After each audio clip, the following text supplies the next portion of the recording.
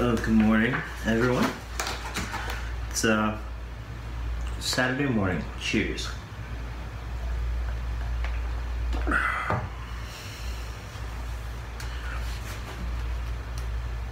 And at home that night, sometime early that morning, I'm sitting in my room watching religious programs on cable TV because I'm tired of watching videos.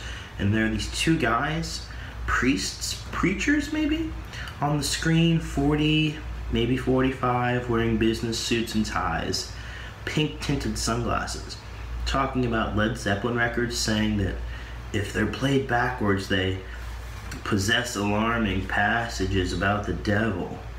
One of the guys stands up and breaks the record, snaps it in half, and says, And believe me, as God fearing Christians, we will not allow this. The man then begins to talk about how he's worried that it'll harm the young people. And the young are the future of this country, he screams, and then breaks another record. Last summer, things I remember about last summer hanging out at the clubs The Wire, Nowhere Club, Land's End, The Edge, and albino encanters around 3 in the morning.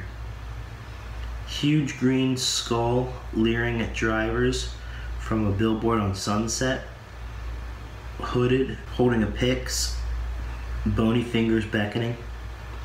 Saw a transvestite wearing a halter top in some movie. Saw a lot of transvestites that summer. Dinner at Morton's with Blair when she told me not to go to New Hampshire. I saw a midget get into a Corvette, went to a Go Go's concert with Julian, party at Kim's on a Saturday afternoon, B 52s on the stereo, gazpacho, chili from the Chasen's, hamburgers, banana daiquiris, double rainbow ice cream, two English boys lounging by the pool who tell me about how much they like working at Fred Segal. All the English boys I meet that summer work for Fred Segal. Thin French boy who Blair slept with, smoking a joint, feet in the jacuzzi. Big black Rottweiler bites at the water and swims laps. Rip carries a plastic eyeball in his mouth.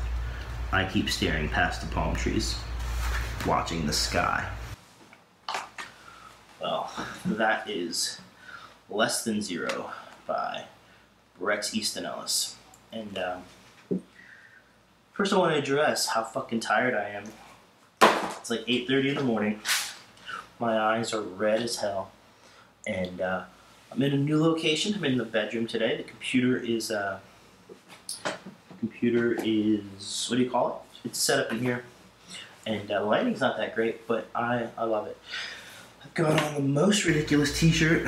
Uh, there are actually um, some misspellings on this T-shirt, so for whatever that's worth. Uh, put up a cool gym video last night. If you haven't checked it out, it's uh should. Um, so Bret Easton Ellis, great author.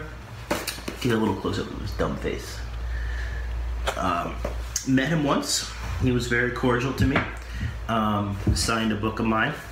Uh, I think he signed this one too. Let's look. To Michael, be creative. Bret Easton Ellis. And uh, I said, someone says, you're gonna, oh, they asked me, he said, what do you want me to say? And I said, uh, be creative, man. like, my favorite author, I tell him to be creative, to write me a message. And uh, that's what he did. He, uh, he wrote Be Creative, which is a great, great little inspirational thing. Like, it's not def- it's not actually inspirational, but it's a, it's a nice way to remind me to always be creative. He, uh, boy, I'm just, I'm so tired. Um, so, Ooh. you hear my shoulder cracking? Anyway, great author, love his work. He's a good podcast. You should check it out, BretEastonEllis.com. Uh, today, today's moving day, which, uh, you know, I've signed this little lease Uh, not a lease. Uh, I think it's a lease, but it's like it's like a rented. It's a bedroom, okay.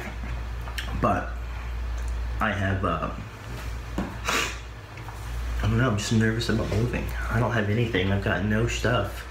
I've got I've got this stuff. You can see it back there. Um, and I've got a bed. I don't have anything else. Um, you know, we are not confined by the reality that we create. Um, I guess we kind of are. But it feels like we are confined by something that's beyond our control. And that just sounds so wrong, right? Like, I want to believe well, this is what the universe has planned out for me, and I have no control over it. So, you know, please don't don't blame me for my lack of motivation and my, my lack of uh, you know independence and my lack of success.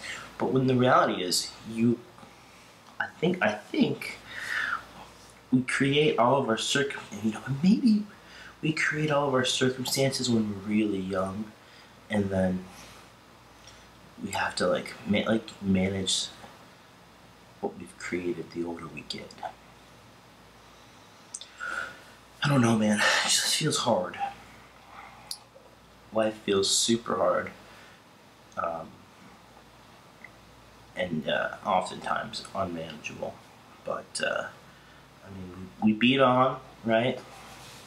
What's that quote in The Great Gatsby? So we beat on. Backs against the wall. All we are is just another brick in the wall. No, that's, that's not the same thing. And, okay, I'm going to end this here because this is stupid. This is stupid. You're stupid. Not you. If I, meant the, if I meant you, the viewer, I would have pointed to the you, the viewer, are stupid. No, I said you're stupid. I pointed at myself. You're stupid. You're weak, and you're a crybaby. And this is why you have nothing and no one.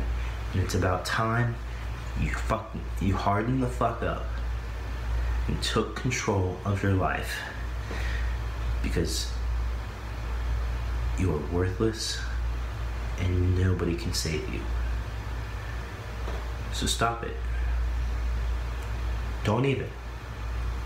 Forget about it.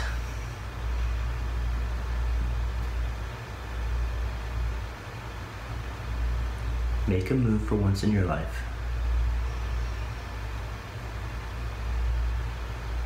The time is now.